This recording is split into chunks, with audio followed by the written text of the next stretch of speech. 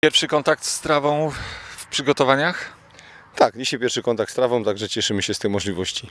No a jakie wyniki, efekty testów, które przeprowadzaliście przez kilka minionych dni? E, Są one teraz poddane tej e, analizie tenera m, przygotowania motorycznego, tenera Kuby, Korby. Myślę, że tutaj e, po już czytaniu wszystkich danych też z GPS-ów, to na koniec tygodnia taki raport będziemy już mieli i większy pogląd na, na to, jak te testy wypadły. Pierwszym sprawdzianem formy, dyspozycji i przydatności niektórych zawodniczek będzie piątkowa gra z Banikiem Ostrawa. Ciekawy rywal. Tak, bardzo ciekawy rywal. e, Beniaminek e, ekstra mm, ligi, ekstraklasy e, czeskiej.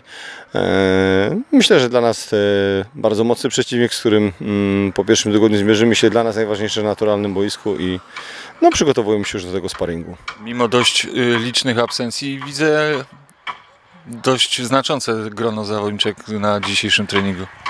E, Kadra jest szeroka, aczkolwiek część zawodniczek, tak jak tutaj e, zauważyliśmy, jeszcze jest w różnego rodzaju rozjazdach. E, No, zależy nam na pewno no, na tym, żeby ta kadra była szeroka, ponieważ wiemy, że rywalizujemy w przeciągu całego sezonu na kilku frontach.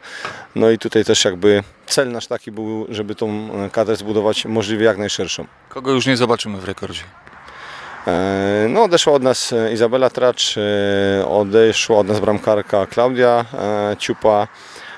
Pożegnaliśmy się z naszymi zawodniczkami z zagranicy, czyli z Ukrainy. Mm, No dzisiaj, wczoraj, przepraszam, doszła też informacja, że Salomia Kupia również wraca w rodzinę strony.